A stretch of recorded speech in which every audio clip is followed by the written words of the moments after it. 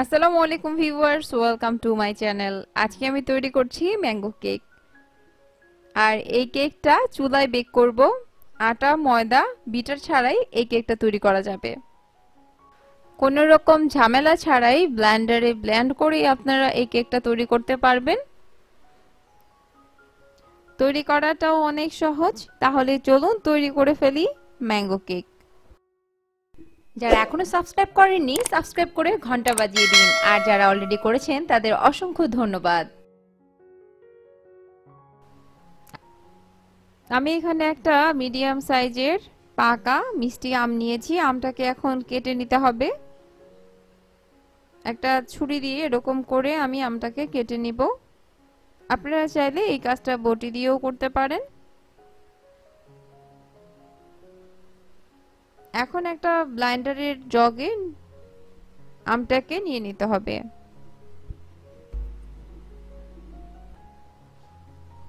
পুরো আমটাই আমি এরকম করে কেটে নিব। বড়াটাও হাত দিয়ে এভাবে চিপে মাংসগুলো নিয়ে নিতে হবে।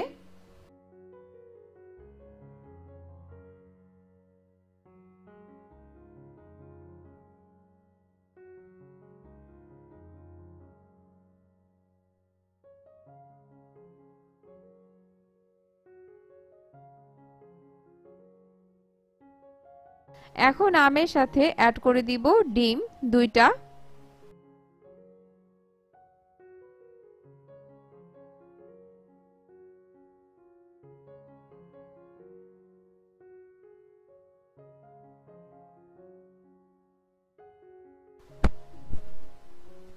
অ্যাড করে দিচ্ছি চিনি, পনে এক কাপ মিষ্টিটা আপনারা আপনাদের নিজেদের পছন্দ মতো দিয়ে দিতে পারেন। আমি যতটুকু চিনি দিয়েছি, তাতে একদম পারফেক্ট মিষ্টি হবে।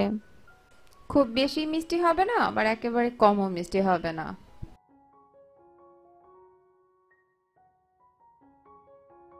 এখন আমি দিয়ে দিব সুজি এক কাপ এই সুজিটা কিন্তু একদমই কাঁচা কোনো রকম ভাজা সুজি না। আপনারা যে কোনো ব্র্যান্ডের সুজি নিয়ে নিতে পারেন। চিকন দানা মোটা দানা তাতে কোনো সমস্যা নেই।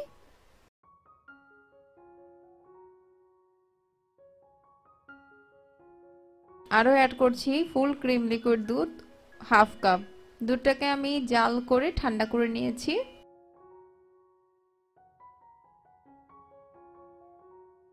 সব শেষে হাফ কাপ রান্নার তেল দিয়ে এগুলোকে ব্ল্যান্ড করে নিতে হবে। ব্ল্যান্ডটা এরকম করে করতে হবে যেন স্মুথ একটা বেটার তৈরি হয়। দুই থেকে তিন মিনিট সময় লাগবে ব্ল্যান্ড করার জন্য।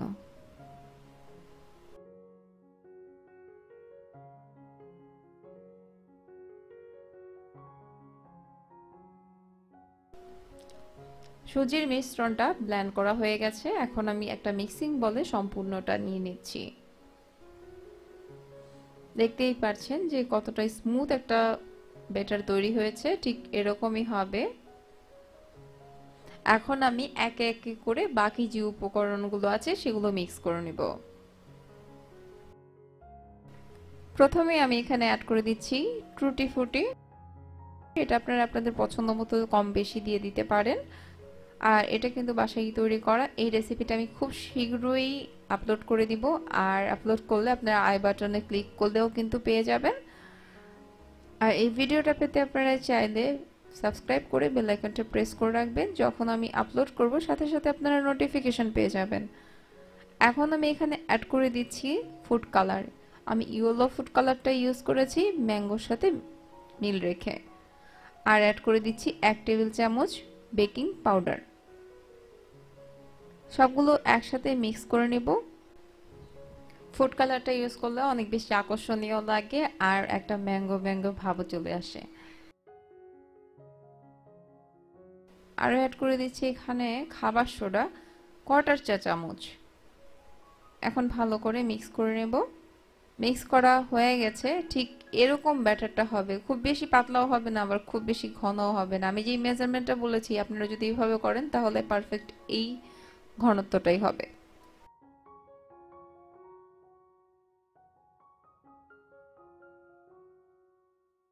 কেকটাকে সেট করার জন্য আমি এরকম একটা গোল মোল্ড নিয়েছি, আর এই মোল্ডের মধ্যে নিচে একটা সাধারণ যে পেপার আছে আমাদের বাসায় থাকে, সেগুলো বিছিয়ে উপরে অয়েল ব্রাশ করে নিয়েছি। সাইডটাতেও ভালো করে অয়েল ব্রাশ করে নিতে হবে, তাহলে যখন আমি কেকটা তুলবো তখন কিন্তু খুব সুন্দরভাবে উঠে আসবে। এখন আমি সম্পূর্ণ ব্যাটারটুকু এখানে ঢেলে নিব। আর এরকম করে একটু ট্যাপ করে নিতে হবে, তাহলে ভিতরে যদি কোনো বাবলস থাকে, তাহলে কিন্তু সেটা চলে যাবে। ওপরে কিছু কাঠবাদাম আর পেস্তা কুচি ছড়িয়ে দিচ্ছি।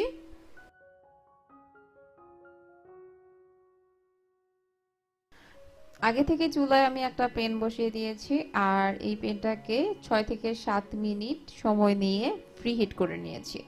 এখন আমি মাঝ বরাবর কেকটাকে বসিয়ে দিব। নিচে একটা স্ট্যান্ড দিয়ে দিয়েছি, একটা ঢাকনা দিয়ে ঢেকে দিব আর ওপরে দেখতেই পাচ্ছেন যে ফোটাটা আছে, সেটা আমি একটা টিস্যু পেপার দিয়ে বন্ধ করে দিয়েছি। কেকটা বেক হয়ে গেছে, একটা টুথপিক দিয়ে মাঝ বরাবর এভাবে দেখে নিব। যদি টুথপিকটা ফ্রেশ বের হয়, তাহলে বুঝতে হবে যে কেকটা বেক করা হয়ে গেছে। এই কেকটা বেক করতে সময় লেগেছে এক ঘণ্টা দশ মিনিট।